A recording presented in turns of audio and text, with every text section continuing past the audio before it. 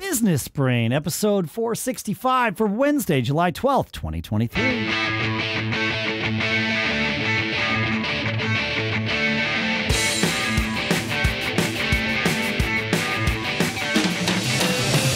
Greetings, folks, and welcome to Business Brain, the show where we take all kinds of different things that we find in our lives and our businesses, and we put them through the business brain to give us a little bit more perspective, training our business brains together to keep living that charmed life. Sponsors for this episode include a new sponsor, Pearl Diver at pearldiver.io. This is a cutting edge platform that provides information on the people who are visiting your website and also Zinch at financingthatworks.com. They're waiving their $250 application fee just for you because you're a business brain listener. We'll talk more in depth about both of those in a little bit. For now, here in Durham, New Hampshire, I'm Dave Hamilton. And in sunny California, I'm Shannon Jean. How's it going, man? It goes. I I have adopted a new habit that I Yes. would like to share. I I take it, it, it every you know six months, maybe year. I, I try to take several hours and just uh, this is not a new habit for me, and just sort of live in my head, not not looking at a phone, not reading a book, not uh, watching TV, just sitting, it, meditating, if you want to call it that, just living in my head, you know, and I will do some meditation where I'm just like breathing or whatever, but just sort Okay. of pondering things. And it was in the midst of one of these uh, recently. I did this, uh, you know, a couple weeks ago, actually over the 4th of July weekend. I had a sort of a down afternoon. I'm like, ah, it's been a while. I need to do this. And I got up, uh, you know, as happens, my my body, I had this urge, Shannon. So I went into pee. And because I was in this mode where I wasn't looking at screens or anything, Yeah. I didn't bring my phone with me. And I noticed that I have developed this habit where every time I have nothing to think about, like Oh, I'll yeah. I'll look at my phone while I'm while I'm in the bathroom while I'm Yep. peeing. And and and so I didn't. And I I noticed how much I was able to just stay in my head those moments of what I'll call and my apologies folks uh, urinal and I'm not apologizing for this, this is great urinal inspiration right? It's it's that downtime. It's those brief little Yeah. moments of downtime. We talk about the value of driving which gets a little bit hypnotic or showering which gets a little bit hypnotic and you can sometimes your mind processes ideas and new things sort of sparkle forward. And the same thing happens when you're peeing. You know what you're doing in there. You you know you don't need to like actively think about it most of the time. And so it it's this gift that you give your mind multiple times a day, countless times a day. Well, maybe not countless, but you know, multiple times a day. And I, like I have found, and so I've been doing this for the last whatever week and a half that it's been, and it's such, it's been such a, like I said, it's truly a gift. So I, I share this if if it's a practice anybody else out there wants to adopt. But but the idea of just not looking at your phone all the time and breaking the habits of oh I've I, you know I'm gonna go pee so let me just read my phone while I do. It's like that. You know what? Yeah. I. I I often joke that you know it's like I'll never forgive Apple for inventing the smartphone because they killed. The, it's the death of downtime. Yep. You know, uh, Yep. January fifth to you know two thousand seven. You can put it on the calendar. Yeah, yeah, You know, yeah. or once they started shipping. Once they started shipping in you June, yeah, always have this Yeah. this uh, information feed in your hand, which is incredibly Amazing. powerful. Yes. amazing, and uh, it, it's a it's what you can learn from. It's great, but uh, I'm a huge fan of completely unplugging, and in fact, I, I've I've threatened to uh, start a new trend called No Phone Friday. Oh, That not because it rhymes, but it does. Uh, and that makes it it's a got, little it's more got alliter- powerful. alliteration is Yep. what it is. It's not a that- rhyme. yeah, that's right. Makes it a little more know, powerful. yeah. That's just me Um, being pedantic. So yeah. Yeah, but wouldn't it be great to just say, "Hey, Fridays, I, I don't have it's, it's no phone Friday, so uh, every other rest of the week you can get a hold of me this way. On Fridays, you may uh, maybe you email, maybe you because that doesn't mean you don't work if you're at your computer, that Sure. kind of thing. But when you walk away, Walk you away. really get to walk away. Yeah. No, it, So it's been interesting. and it's been interesting over the last 10 days. I'm still very aware of actively not choosing to like pull my phone out of my pocket or whatever every time I go to pee. Like it's it's still very it's not a new habit yet. It is something in development for sure. It's it's it's amazing. I'll catch myself. It's like, "Whoa, nope, got to put that down." Like, okay. And it's been it already. It's been great. Like I've had great ideas, I, you know, because I'm giving my mind, like you said, a bit, the ability to be bored. So yeah, yeah, you should be because you'll your mind will do great things when you're bored. Absolutely. Uh, and and you you make all kinds of connections that you don't normally think about because you're not giving yourself the opportunity because you're it. looking at some feed, uh, news or Instagram, excuse me, or Twitter, uh, and you or know, all those things can be use, useful. Thread, yeah, threads now. Yep. yep. Yeah, threads. So yep. you're always you know digging through. But um, the other thing I think the phone does, not to make this anti-phone talk, but long form reading is very important for uh, your brain being able to that means read. just doom scrolling uh, facebook for longer? Is that what you're saying? Because no, oh it, it, what? yeah it's words. You know whether you read a magazine whether you read a novel a business book whatever it is and you could read it online but i find that i'm only speaking for myself but i would i would hazard to guess that this is common. The more you're scrolling and getting you know that quick hits of dopamine, when you come across something that's very long and formidable, your brain is telling you, don't read this. This is not going to, there's no payoff here. There's no payoff. You know, yeah, yeah, that you don't get the, the hit, right? Yeah, you don't get that hit. So I, I, I love to read and I, I carry my Kindle wherever I go. Um, and, you know, always have a, have a paperback laying around. But I find I feel like instead of snacking on candy of the short form oh, stuff. Yeah. You get a whole meal when you go and read 20, 30, 40 pages at a time. But Shannon, the candy tastes so good. I know it does. It's bad for you. Yeah, it's, yeah, it yeah. is bad for you. I need to get better about this. I have a new Kindle. I got it for Christmas. I read, nice. uh, you know, I read a bunch for the first month or so, and then I I went back to my old ways. And now when I get in bed, I grab my iPad and I, I you know, it's no, I I yep. need to just like I did with this, you know, enforcing the opportunity for urinal inspiration, I need to enforce the opportunity for my brain to get a full meal because that's super valuable. All right, so you know how it is, right? There's all those people who are visiting your website but never convert and then they just disappear. Don't you wonder who all those people are? Discover the game changing tool that top professionals are raving about to solve this. Our sponsor, Pearl Diver. Pearl Diver is a cutting edge platform that provides in depth visitor identification, enabling you to uncover valuable insights about your website visitors. By uncovering names, emails, company details, and more, Pearl Diver empowers you to turn anonymous traffic into high quality leads. With Pearl Diver, you'll supercharge your marketing and sales strategy. Don't settle for guesswork, right? Why would you? Dive deep into your visitor data with Pearl Diver and revolutionize your customer acquisition game. Ready to make new waves? Yeah, with Pearl Diver, you'll see actual people visiting your website. You know their names, their emails, their phones, their titles, their company details. You'll never miss out on the opportunity to engage with your hottest leads. Pearl Diver matches your email interactions with identified website visitors, providing you the insights you need to close your next deal. You're going to visit pearldiver.io and try Pearl Diver today. Again, that's pearldiver.io. Visit Pearl Diver today, try it out, and our thanks to Pearl Diver for sponsoring this episode. We all know running a small business means forging partnerships. From maintenance to HR, the partners you rely on make sure your business can succeed. And the best partners are ones that can move with the flow of your business. And that's why you need our sponsor, Zinch, a direct lender tailored to small and medium sized businesses that makes loans simple, fast, and flexible. And Zinch can approve up to $250,000 in under two days. With Zinch, you don't have to wait months to be approved for a traditional bank loan. We've all had those unexpected costs, right? You know, you might have a burst pipe that runs your machinery, big bills that you didn't expect, costs that come from expanding your workforce, slow payments, whatever it might be, Zinch knows you have to act fast, and their specialists will help you choose the best solutions for your needs. There are no commissions or third party approvals, so Zinch can give you better rates, faster approvals, and keep your information secure.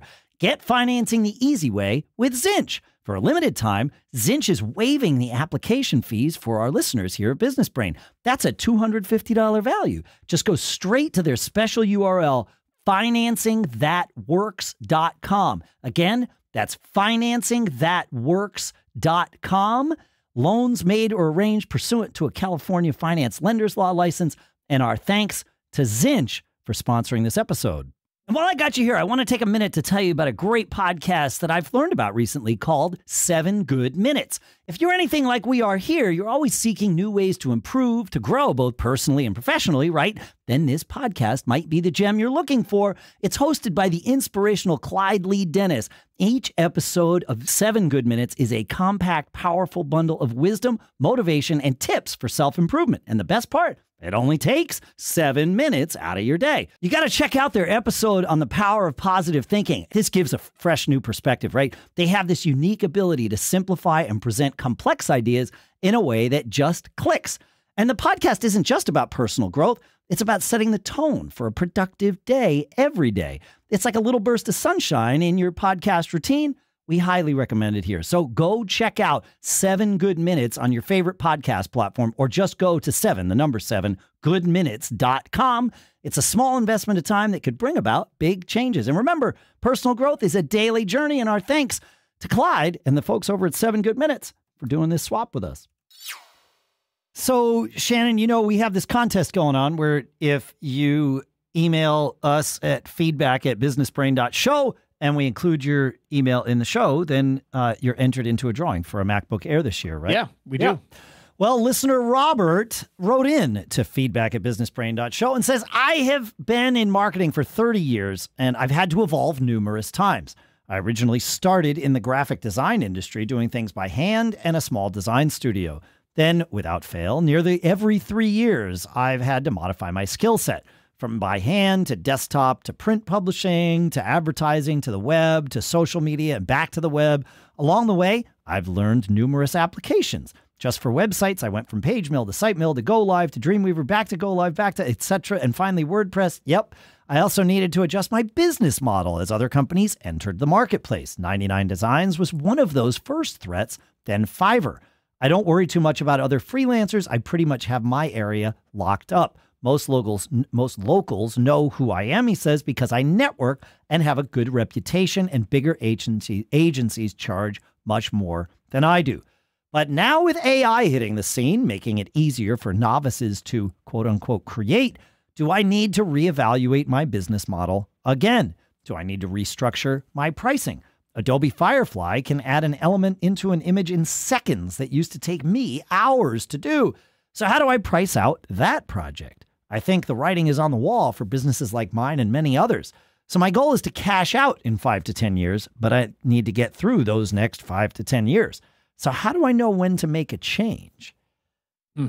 That's a great question, and some great examples of. I've used so much of this software yeah. over, you know, Dreamweaver, Go Live, all that stuff. I, I love uh, Robert mentioning those apps, and you know, I was just a business owner trying to figure out how to run my website. Right, right and design graphics and stuff. But it, it is a great question. And I think that um, often in my life, I've not realized the change needed to be made until it was past. Right. Oh, yeah. Uh, uh, I've I've had several businesses that I should have sold um, before I realized I should have sold them. Oh, I'm, i own um, one right I think now. That's, I think that's always true. I, you know, you think so? The, yes. Yeah. Be, I, I, well, I, and I didn't come up with this maxim, but I firmly subscribe to and support it.